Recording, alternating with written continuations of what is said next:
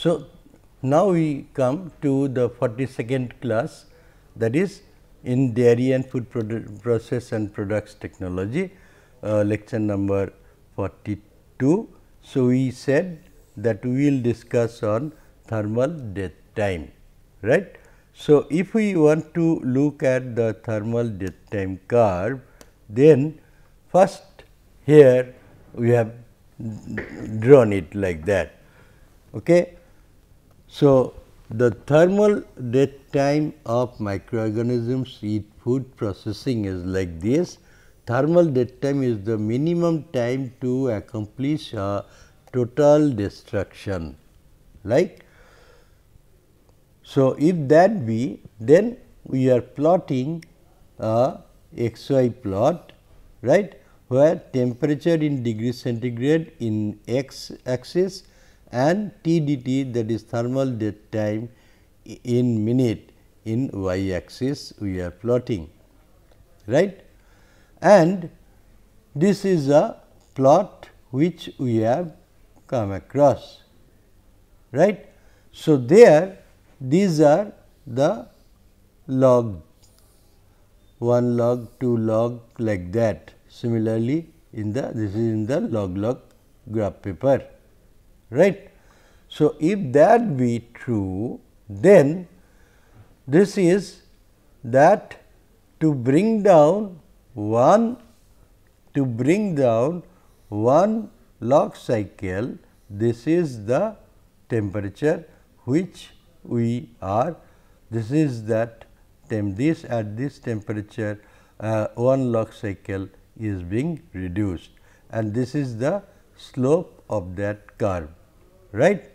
So, we, we come to that slope of the line T d t this is the thermal death time line right. So, if we see that then it is negative slope right. So, because if it is like this then it is a positive slope if it is like this then it becomes a negative slope I hope this we know right. So, if we look at that then this uh, slope for T d t line is minus log T d t 1 that is this log T d t 1 right minus log T d t 2 T d t 2 is this. So, this is 1.1 this is 0.2 corresponding temperature T 1 and T 2 and T 2 minus divided by T 2 minus T 1 right. So, by using so slope using z value which we have said 1 d. So, that means, we have negative of that we have taken 1 mm, d that is 1 log cycle that is log 10 minus log 1 by z right that is the that is the z value which we have defined right. So, this is nothing but is equals to that log 10 minus log 1 is 1. So, 1 minus 1 by z. So, from this and this we can correlate that log t d t 1 minus log t d t 2 by t 2 minus t 1 is nothing but 1 by z because here we have a negative, here we have we had a negative, here also we have a negative. So, that is cancelling out. So, t d t log t d t 1 minus log t d t 2 by t 2 minus t 1 is 1 by z or log t d t t, uh, t d t 1 minus uh, the over log t d t 2 is T 2 minus T 1 by z or this can be maybe in the next slide we have written. So, this can be log of T d t 1 over T d t 2 right T d t 2 oh, log of T d t 1 over log of this log of T d t 2. So, this is equals to T 2 minus T 1 over z, right. So, replacing TDT with the symbol f. Now, if we replace this with f, then we get log of f 1 divided by f 2 is equals to T 2 minus T 1 over Z, right. That is what we will show in the next slide that log of log of f 1 over f 2 by T 2 minus T 1 by Z or log of f 1 over f 2 is equals to T 2 1 T 2 minus T 1 by Z or f 1 by f 2 is 10 to the power T 2 minus T 1 by Z or f 1 is equals to f 2 10 to the power T 2 minus T 1 by Z right. If we now assume that f 2 to be the reference temperature, then f 1 is f reference T uh, 10 to the power T reference minus Z right here it should be ref. So, that was the typing mistake. So, T reference minus T 1 by Z. So, value of F at reference with a reference temperature is known. If that be known, if the Z value of that is known, then what is the F value or if for a given T 1, what is the F value or if F 1 is known, what is the T value that we can find out. Right? This is how TDT progresses that F depends on this says that F depends on temperature and is specific for a microorganism. So, for a given microorganism that F is a function of temperature right that is what we have seen F is f 1 is f reference 10 to the power t reference minus t 1 over z which says that f is a function of temperature right. So, if that be true then broadly we can say that pasteurization can be categorized as either low or high temperature pasteurization methods. Both of these can be either batch or continuous process. For low temperature pasteurization is simply is, is majorly concerned with food safety and aims at killing all pathogenic microorganisms and reducing spoilage types in a food sample.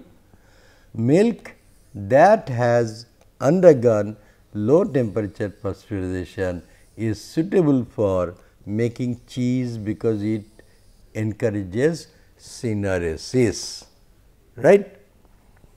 Syneresis the other day other time I have I hope we have said that uh, the best example is that for syneresis to understand that when you are making jam jelly, jam jelly when you are making.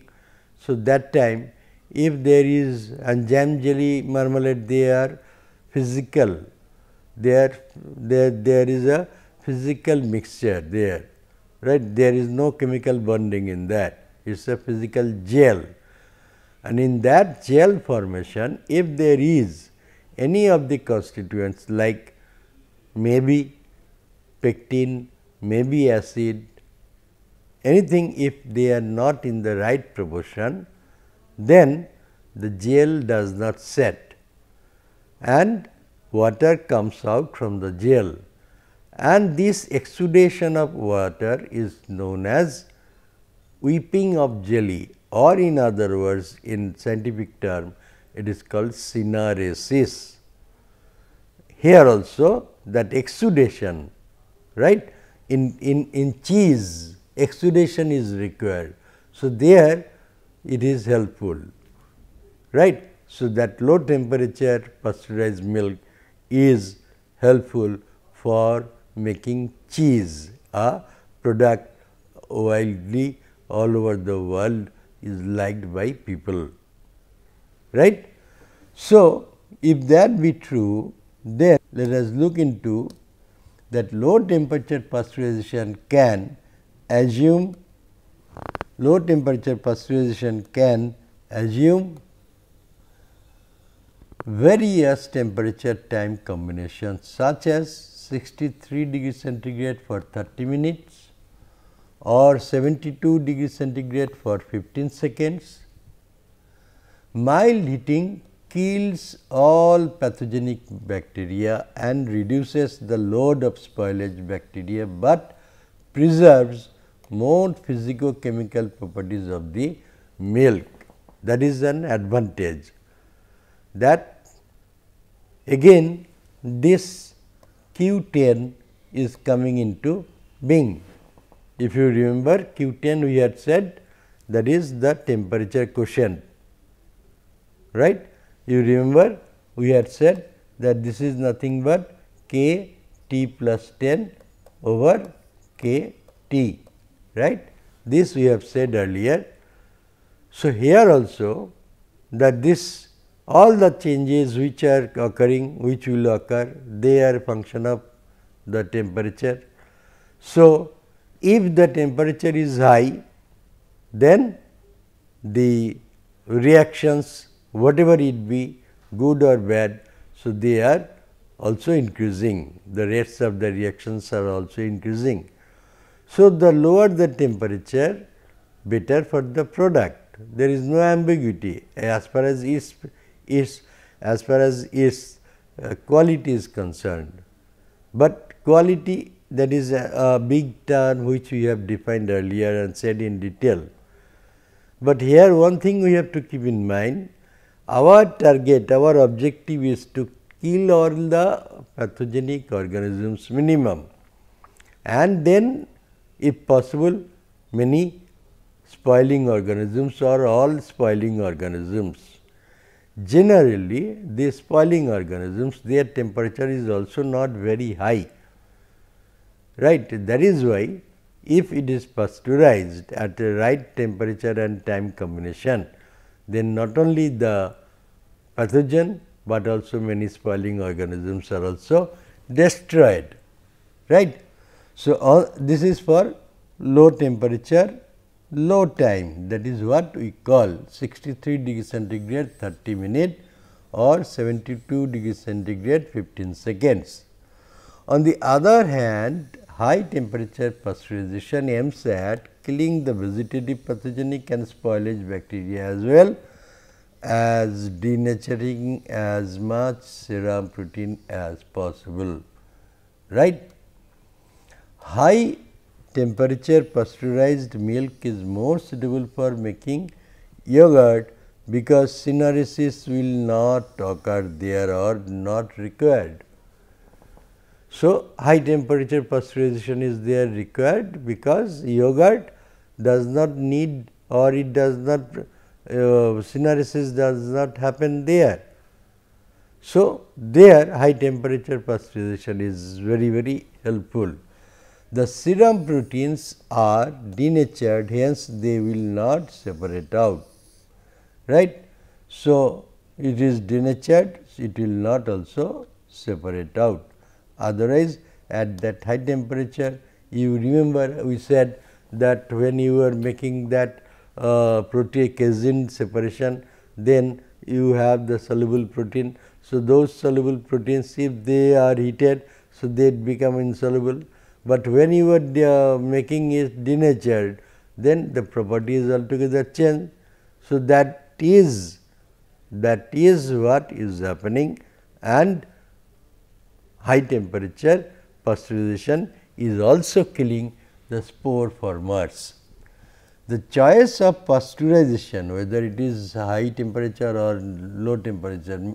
So, pasteurization method depends on several factors which may not be limited to right which may or may not be limited to intended purpose of the pasteurized milk. What is the purpose which you are using? Whether you are making cheese from the pasteurized milk whether you are making uh, any other product like uh, your um, yogurt or you are making uh, the whole milk mm, I mean liquid milk drink for drinking like that. So, that what is your end product uh, activity, what you will do with that. So, that will dictate that will tell you what should be the pasteurization temperature and how should you pasteurize method. Access to, to sophisticated equipment that is another thing. You may need to do pasteurization, but you do not have the sophistication or the instruments which are sophisticated. So, your access if it is not there in spite of your need you cannot do that. So, that is another aspect volume of milk to be pasteurized that is another aspect how much volume you have to pasteurize whether it is 100 liter or, or 1 lakh liter or 10 lakh liters that will dictate of course, the availability of the uh, recent or or improved pasteurizers or, or methods or instruments. Then target microorganism, what is your target microorganism because from the target microorganisms from its TDT curve you can know what is the time and what is the temperature required to inactivate that typical target organism and you can work on your pasteurization time and temperature right. So, whenever so whatever be the case one can choose to carry out normal pasteurization or ultra pasteurization right. So, you can choose normal pasteurization or ultra pasteurization. Now, what is normal? Normal pasteurization will preserve milk for about 2 to 3 weeks, while ultra high temperature or ultra pasteurization will preserve milk for even up to 1 year. The other day when packaging I was showing, I hope you have seen that there are some packaged Tetra Pak things were like that. Now, if you go to the market and ask that I want sterilized milk, they will give you similar like that. That depends on the company how they are making the packet, whether it is a uh, pyramidal shape or whether it is a, a rectangular shape that uh, having some handling facility or things like that. So, that will depend on the processor how they will make how will they will make the packaging, but definitely that the uh, high temperature where ultra high temperature pasteurized that milk may survive or may sustain even up to 1 year or more. Whereas, normal pasteurization the milk will survive no around 1 to 2 weeks not more than that right. So, this we have to keep in mind and depending on that you have to select the method of pasteurization right. Then different types of thermal processing methods. Different types of thermal processing methods are that thermi that this is thermization. Thermization is a process or heat process where the milk to be uh, heated between 57 to 68 degree centigrade and holding period is around 15 minutes. So, temperature is around 57 to 68 degree centigrade and time is around 15 minutes. So, low time uh, low temperature high time it is being heated for pasteurization right. In normally we had given that earlier time temperature combination one was 63 degree centigrade for 30 minutes and other was 72 degree centigrade for 15 seconds. But in thermin in this that thermization we are calling that it is between 57 to 68 degree centigrade temperature, whereas the time requirement is 15 seconds, uh, sorry 15 minutes, right. So, this is targeting the pathogenic bacteria while leaving the good bacteria in the product. So, only this will kill the pathogenic organisms, but the good bacteria which because you are heating when the temperature is high. So, temperature does not know who is good and who is bad, right. So, depending on the temperature the corresponding organisms also will get killed. So, along with bad organisms if you are also killing some good organisms that is not desirable right because nature has produced such like such way in such a way.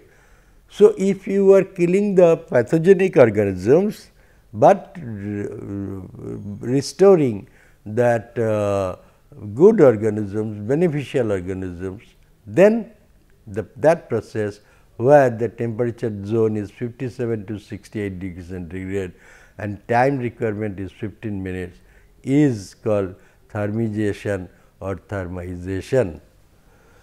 Then there the low temperatures do not alter the structure and taste of milk because again Q 10. So, the lower the temperature better for it. So, in this case better than 72 degree centigrade 72 is much higher maybe for 15 seconds, but much higher temperature. Here you are 63 degree centigrade 30 minutes so, here you are making 63 57 to 68 degree centigrade within this zone, but it is 15 degree minutes that is what you are hitting right. So, you are killing all pathogen, but not the desirable or favorable or helpful bacteria right. Now, batch pasteurization is such that uh, know which is also known as low temperature long time LTLT low temperature long term pasteurization where he, milk is heated 263 degree centigrade for 30 minutes. The extended holding time causes alteration in the milk protein structure and also the taste because at 63 though the temperature is low but time is more right though the temperature is low, but time is more. So, 30 minutes you are heating at 63. So, lot of alterations may take place in the milk protein and its structure as well the taste. So, that you have to keep in mind. Then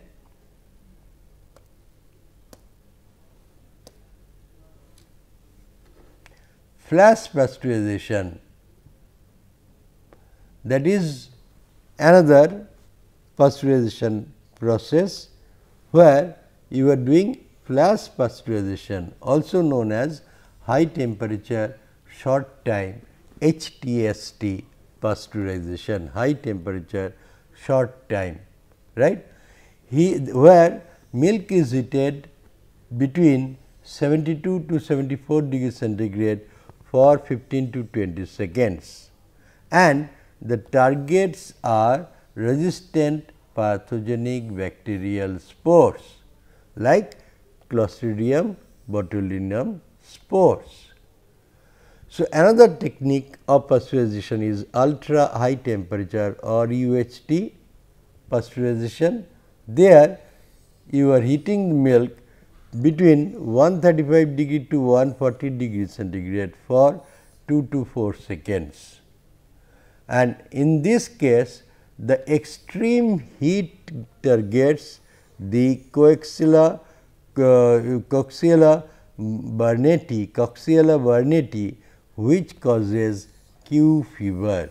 So, Q fever is caused by Coxiella burnetii right and you are doing ultra high temperature pasteurization. The heat kills all the vegetative forms of bacteria and the milk can survive for 9 to 9 months around.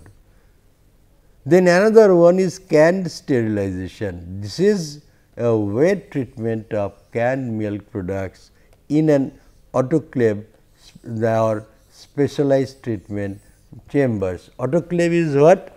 Autoclave is there I hope you have seen you know that you have some lid and you have some water some heating element there. So, you are heating and, and, and locking that uh, lid tightening it so that it becomes leak proof and then heating this that pressure is increasing. So, when the temperature comes to 121 degree centigrade you are keeping for 15 minutes and that is called high temperature sterilization or canned sterilization. So, this is a wet treatment of canned products in an autoclave specialized treatment chambers heat to be between 115 to 121 degree centigrade between 10 to 20 minutes. Right. So, here again you are seeing that range right 115 to 120 degree centigrade and time is 10 to 20 minutes right. These all depend of course, in this case our product is milk, but these all depends on the many factors right what is the pH, what are what are the type of food. So, depending on them the heat treatment may vary right. So, if we look at that so the next uh, our today's time is almost over. So, we will come to this next, but today we have come how different ways pasteurization are performed right?